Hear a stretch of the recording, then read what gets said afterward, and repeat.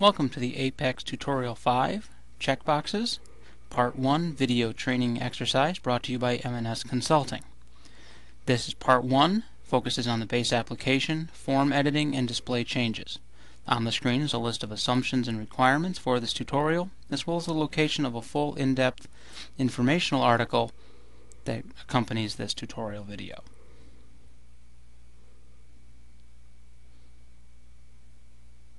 Okay, so let's get started. First thing we need to do, as always, is we need to log in to Apex. Again, making sure you have an account that's at least developer level access. And we're going to start off by going to Application Builder. We're going to go Create. Going to create an application. And we're going to give it a name of Checkboxes.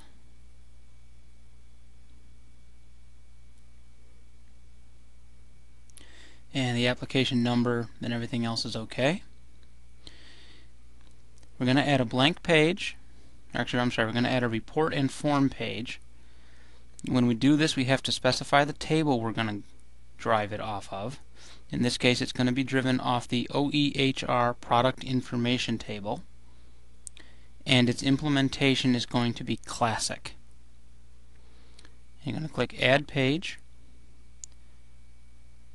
and you'll notice that this will actually create two pages and we need to change the names of them. So we're going to click the top one and this large window will pop up and we highlight the name and rename it to be product report and click apply changes and then we're going to click the item for page 2 and the same large window will pop up and we're going to select its page name and change it to be update form. And we'll click apply changes. And now our two pages are renamed and we click next. We only need one level of tabs and no shared components. The attributes are all fine as they are with the defaults and for user interface, we're going to select Theme 2 and click Next. And it'll ask us to confirm our choices and then click Create. And now that we got it created, we're ready to go. So the first thing we're going to do is we're going to run the application real quick. I'm going to log in.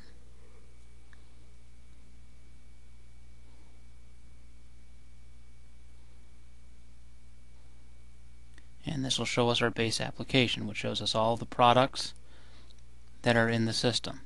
You'll notice on the left of each of them is an edit icon which we can then click which launches us to the update form which is where we can actually update any of the product information. And as long as we're here on update form this is where we're going to start editing so we'll hit edit page 2 and then we're going to come down here to items and we're going to select warranty period since we actually want to hide this from display. So we're going to change its display type to be hidden. And then we'll click apply changes. And there we go. And now we are going to go back down to items here.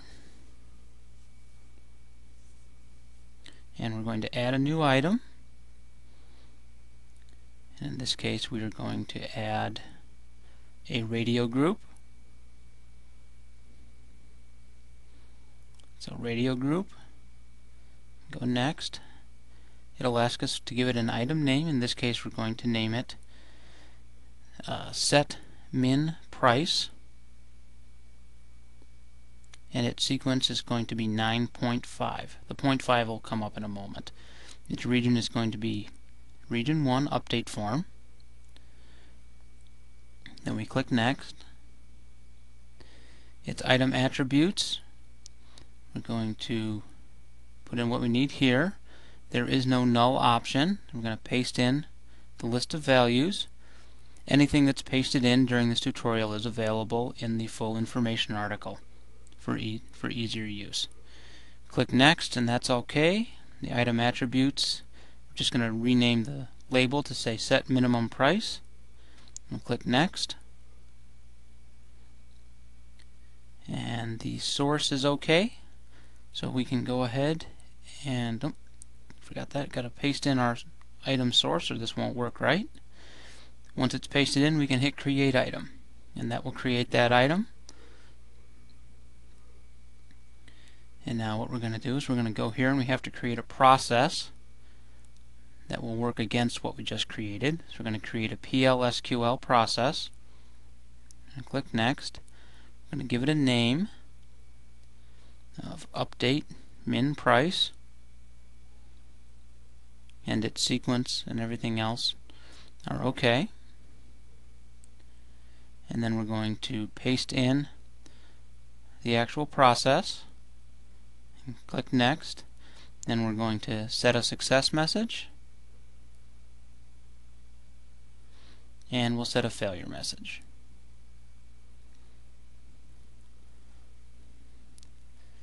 And once we get those in, we'll click Next. And what we're going to do is we're going to set a condition on this. And the condition is going to be value of item in expression 1 equals expression 2. And we're going to make expression 1. I'm going to paste that in here. For P2 set price. And then expression 2 is going to be Y. And then we can go ahead and say create process and now the process is created. Now we need to only a few more changes and this will be set to go. We're going to run our page first here, make sure it's working, and we'll scroll down a little bit and you'll see why we use the 0.5 on the set minimum price. It puts the two radio buttons in the middle of the title. Go back to our edit page screen and we'll scroll down here to items and we'll go to set minimum price. And what we're going to do is we're going to change its change its display to a checkbox. And then we're going to come down here and we're going to remove its label and then we're going to come down here some more to default value we're going to put n.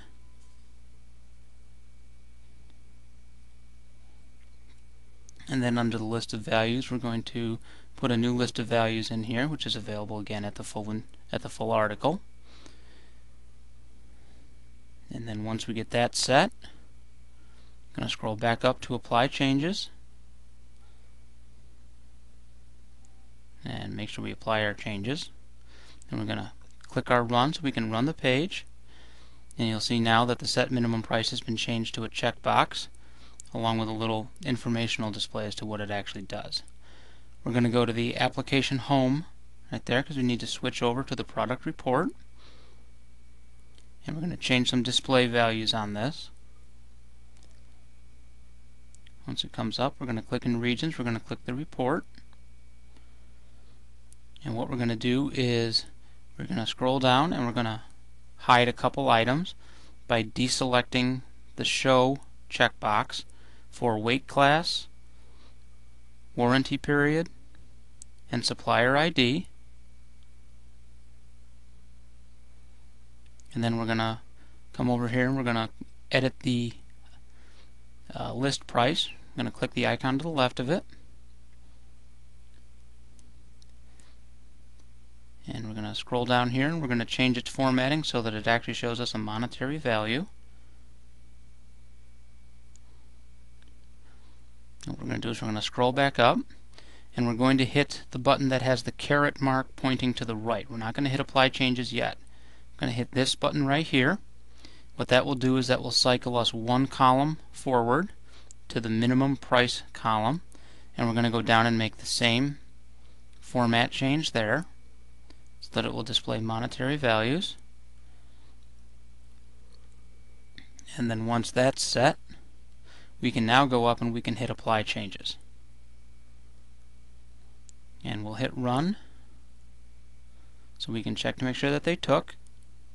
And they did. Our list price now shows as monetary values and the columns we wanted hidden are now hidden. And from this we'll go back to our edit page and get ready for the next part.